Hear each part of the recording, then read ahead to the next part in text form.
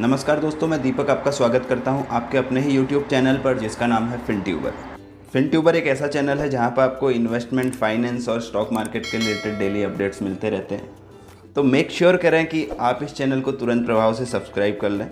तो चलिए दोस्तों फर्दर डिले ना करते हुए वीडियो तो दोस्तों आज हम सबको एक ही प्रॉब्लम सताई जा रही है कि रिज़ल्ट वगैरह सब अच्छे आ गए और बिज़नेस वगैरह भी काफ़ी अच्छा था। रिज़ल्ट वगैरह मस्त आया एकदम। लेकिन शेयर का भाव क्यों गिर रहा है? आज चार परसेंट ये शेयर गिर गया रिज़ल्ट आने के बाद में। तो ये गिरने का रीजन क्या है? तो उसी चीज़ को हम आज जानने की कोशिश करेंगे। तो जी हाँ हम बात कर रहे हैं हावेल्स कंपनी के बारे में। कल हावेल्स के मार्केट क्लोजिंग के बाद में नंबर आए थे। तो काफ़ी अच्छे नंबर थे आउटस्टैंडिंग नंबर थे।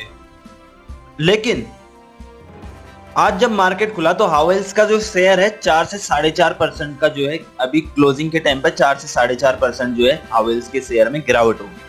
तो क्या करना है अभी हमें हावेल्स में? भैया, मौका है, सबसे बढ़िया मौका है, खरीदो खरीदो खरीदो। ये मौका है एक्यूमुलेट करने का। ये नॉमिनल सी प्रॉफिट बुकिंग है, इसमें कोई दिक्कत वाली बात नहीं है। मैं इसका कंपनी का पोटेंशियल भी आपको बता देता हूँ थोड़ा सा। और लोग किस वजह से पैनिक में आके इस कंपनी के शेयर को सेल कर रहे हैं, वो भी मैं आपको हूँ थोड़ी देर में। इस कंपनी का जो पोटेंशियल है ना, काफ़ी काफ़ी ज़्यादा एंटी चाइना सेंटीमेंट जब से इंडिया में हुआ है तो ये जो इंडियन कंपनी है, इलेक्ट्रॉनिक एंड इलेक्ट्रिकल की तो इन कंपनी को सबसे ज़्यादा बेनिफिट होने वाला है, क्योंकि इलेक्ट्रॉनिक एंड इलेक्ट्रिक का इस ज़्यादा जो इंपोर्ट होता है, चाइना से यही सामान ज़्यादा इंपोर्ट होता है। तो इसकी बेनिफिशियरी तो यही कंपनी रहने वाली है, बस। और आने वाले टाइम में इस कंपनी का एक्सपोर्ट भी काफ़ी ज़्यादा होएगा इस इंडस्ट्री का। ये इंडस्ट्री ये मान लीजिए कि अभी आगे भविष्य का जो चाइना इंडिया बनने वाला है तो इसी इंडस्ट्री के बदौलत बनेगा। ये आप manufacturing industry and electronic and electrical industry इसका भी काफ़ी ज़्यादा रो, रोल रहेगा इसमें। अभी हमारे यहाँ पर अगर देखा जाए तो प्रोडक्शन कुछ भी नहीं है और पॉपुलेशन हमारी चाइना के बराबर ही है बल्कि चाइना से भी ऊपर जाने वाले हैं अभी हम लोग। तो कितना प्रोडक्शन यहाँ पे हो सकता है ये अंदाज़ा भी नहीं लगा सकता कोई। जिस रेट पे चाइना करके देता है, उस रेट पे इंडिया भी करके दे सकता है। मैन पावर बराबर है इंडिया के पास में भी। और पूरे वर्ल्ड की डिमांड जो है, अकेला इंडिया कंप्लीट कर सकता है इस चीज़ को। तो काफ़ी पोटेंशियल है इस कंपनी के अंदर में। ये मान लो आपका ये हज़ार रुपए का अभी शेयर है तो इसकी मैं ये कह रहा, ये कह सकता हूँ कि दस हज़ार, बीस हज़ार तक भी ये शेयर कुछ टाइम में जाने की कैपेबिलिटी रखता है। इतना इसके अंदर पोटेंशियल है। इसके बिज़नेस की बात करें तो हावेल्स को कौन नहीं जानता? सबको ही जानता है। हावेल्स के फ़ैन आते हैं। हावेल्स का माइक्रोवेव हो गया, सारे जितने भी इलेक्ट्रॉनिक आइटम होते हैं, घर में यूज़ करने वाले सारे ये कंपनी बनाती है। मिक्सर ग्राइंडर हो गया, इसकी वेबसाइट पर आप जाके गो थ्रू कर सकते हैं। इसकी वेबसाइट पर सारी चीज़ें आपको मिल जाएँगी। इंडस्ट्रियल केबल हो गया लाइटिंग हो गया हैवी ड्यूटी फ़ैन हो गया मोटर हो गया switch gear and control gear हो गया पावर क्वालिटी सॉल्यूशन हो गया सोलार हो गया। इंडस्ट्रियल के ये प्रोडक्ट है। कंज्यूमर के प्रोडक्ट की बात करें fan lighting appliances switch switch gear water heater flexible cable air cooler pump personal grooming water purifier solar मतलब ग्रूमिंग से लेके पूरा बल्बिंग वगैरह सारी चीज़ें बनाती है। और ई स्टोर वगैरह भी अपना खोल के बैठी है, देखो।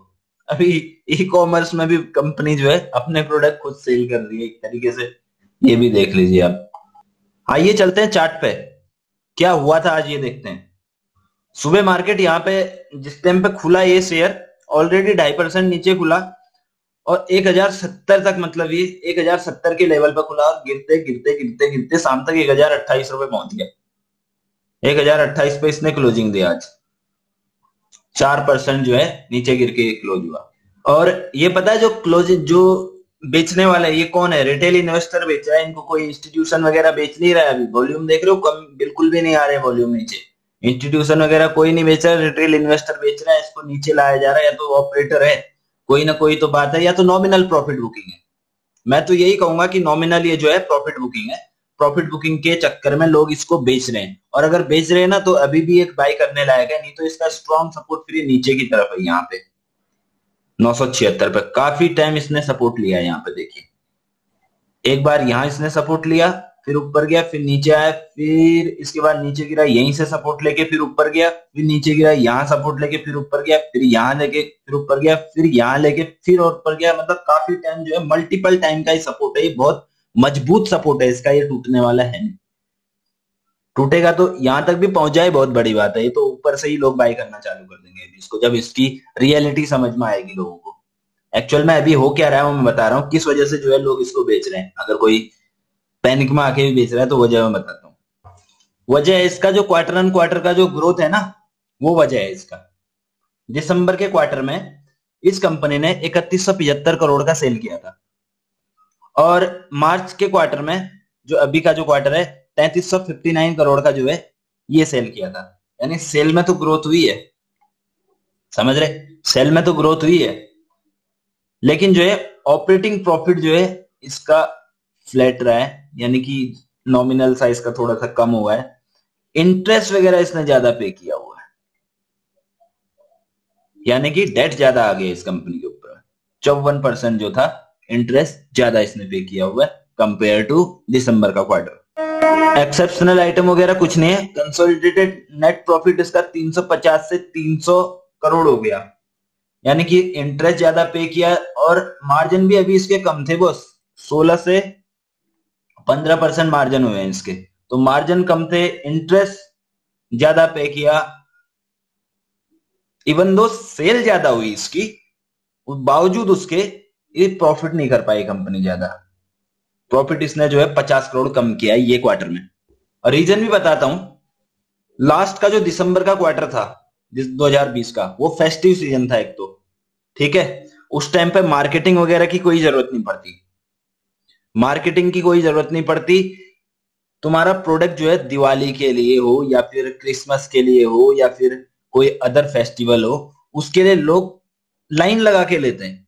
तुमको टीवी में एडवर्टीजमेंट देने की ज़रूरत नहीं है, या अपने गूगल एड्स पे एड वगैरह डाल के इस चीज़ की ज़रूरत नहीं है, तुमको कि ऐड करो तो उसके बाद में क्लाइंट ऑटोमेटिक क्लाइंट आते लेकिन जनवरी के क्वार्टर में, जनवरी से मार्च का जो क्वार्टर होता है, इसमें एडवर्टीजमेंट करना पड़ता है, क्योंकि ये फेस्टिव सीज़न नहीं है। लोगों ने जो लेना था, वो ले लिया। अभी अभी पैसा आ गया कंपनी के पास में तो अभी वो इन्वेस्ट री इन्वेस्ट करेगी उस पैसे को।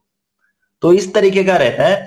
अगर फेस्टिव सीज़न में उसने इनकम करी है तो यहाँ पर इसके मार्जिन कम हुए मार्जिन कम होने की वजह जो है, एक यही है। और दूसरी चीज़ कंपनी हम ये देख रहे हैं कि कंपनी ने जो है इंटरेस्ट ज़्यादा पे किया हुआ है। इसका रीजन ये हो सकता है कि जो पिछले साल का लॉकडाउन था, पिछले साल का जो लॉकडाउन था, उस लॉकडाउन की वजह से कंपनी को कर्जा लेना पड़ा और कर्जा जो है वो इंटरेस्ट वगैरह पे नहीं कर पाई एक आध क्वार्टर में क्योंकि उस टाइम पे प्रोडक्शन हो नहीं पा रहा था सेल हो नहीं पा रही थी। कम से कम चार पाँच महीने, छह महीने तक लॉकडाउन रहा था बस।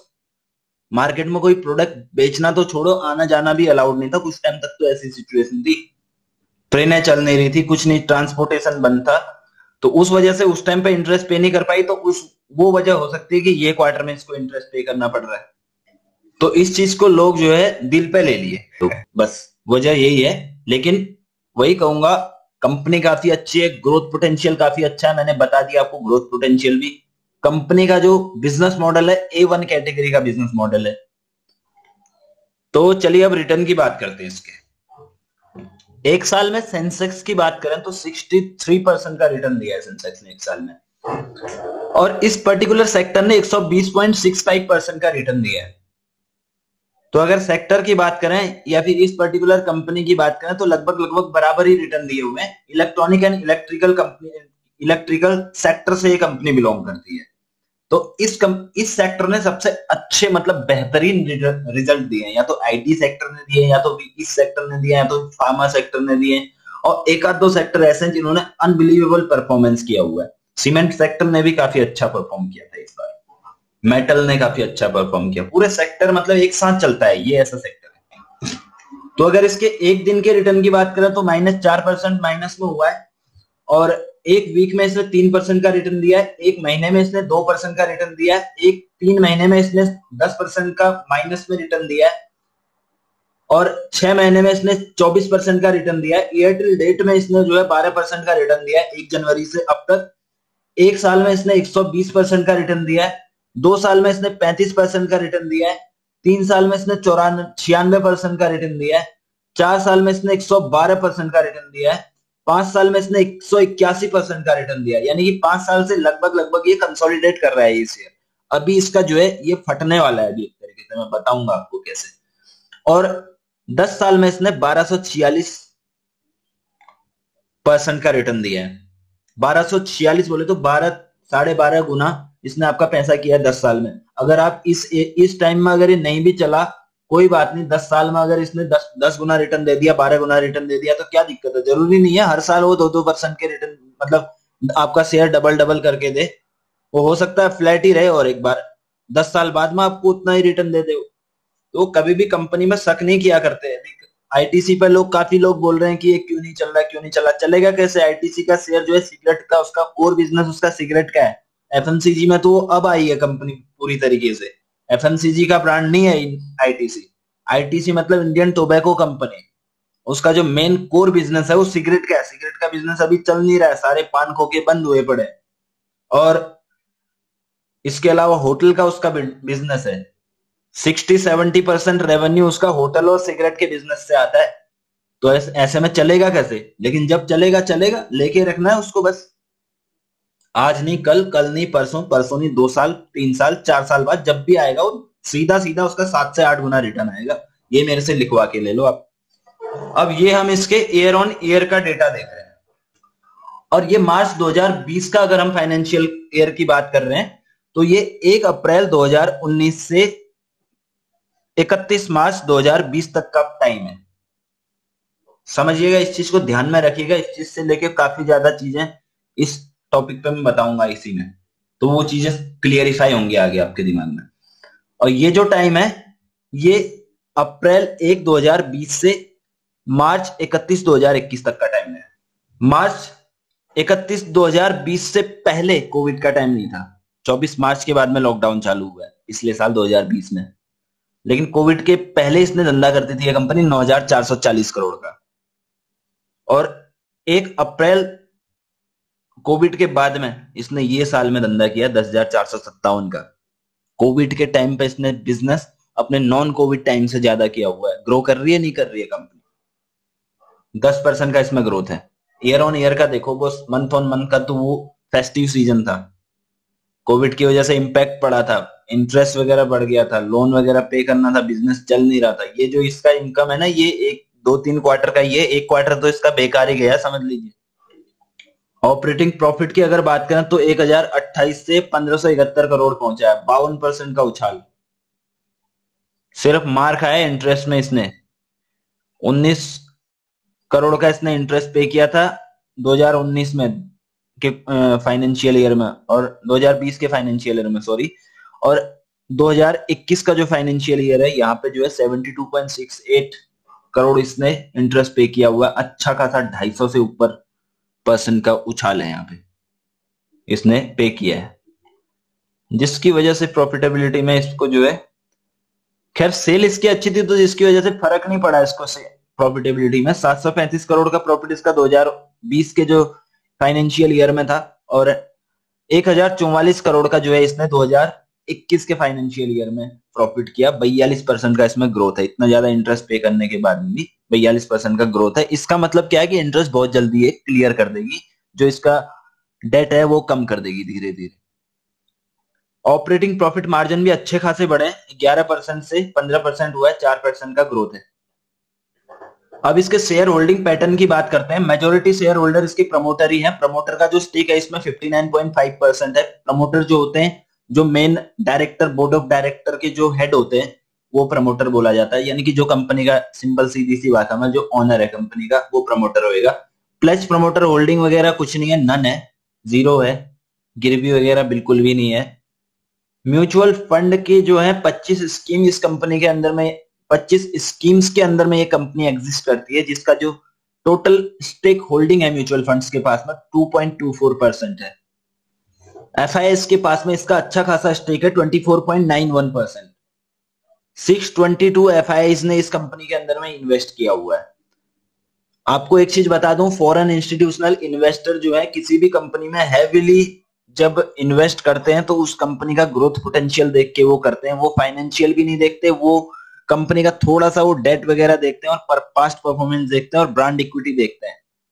अगर ये उनको बैठ गया तो वो आगे की ग्रोथ देख के काम करते हैं। एफआईएस बहुत स्मार्ट होते हैं डीआईएस से भी स्मार्ट होते हैं लोग।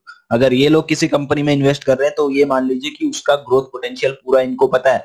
आप आँख बंद करके पैसा लगा लो, जिस कंपनी में एफआईएस का बीस परसेंट से ऊपर का स्टेक है। और प्रमोटर होल्डिंग भी अच्छी होनी चाहिए नहीं प्रमोटर होल्डिंग कुछ भी नहीं है और एफआईएस का लगा हुआ है, उसमें नहीं। प्रमोटर होल्डिंग भी अच्छी हो, और एफआईएस ने भी अच्छा पैसा लगाया और गिरवी भी ना हो शेयर ये चीज़ें ध्यान में रखनी है। और प्रमोटर में जो हाईएस्ट होल्डिंग है ये Q R G enterprises limited के नाम से। और अगर इसमें हाईएस्ट पब्लिक शेयर होल्डर की बात करें तो Nalanda India equity fund limited जो है एक कंपनी है। इसने सवा पाँच परसेंट का जो स्टेक है इस, इस कंपनी में लिया हुआ है। ये कंपनी एक लार्ज कैप कंपनी है।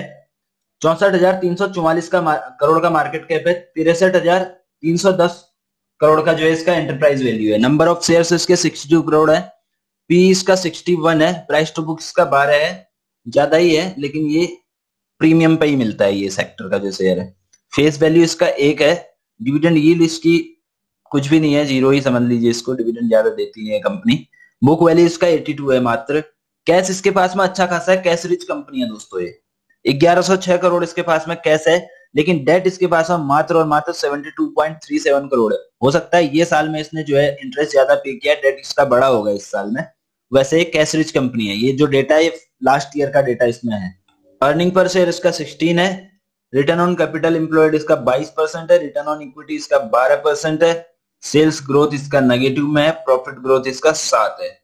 वैल्यूएशन इसका फेयर है। ऑनरशिप इसका स्टेबल है। ठीक ठाक है। ऑनरशिप अच्छी है।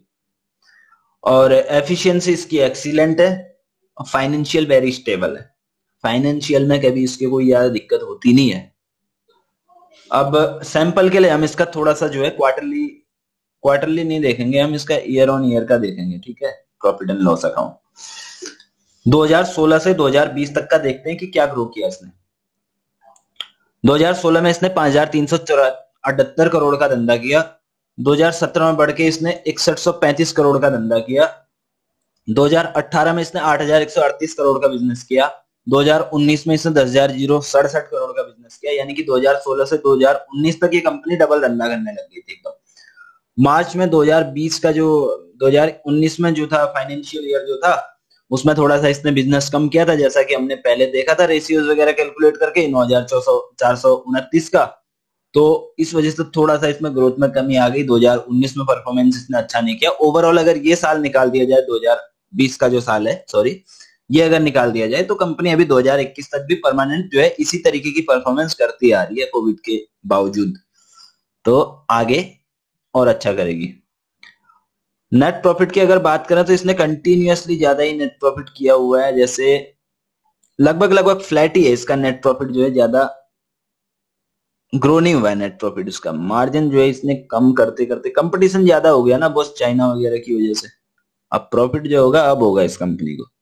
प्रीमियम कंपनी है भैया तो इंट्रेंजिक वैल्यू इसके नीचे मिलने से रही। इंट्रेंजिक वैल्यू के ऊपर ही है।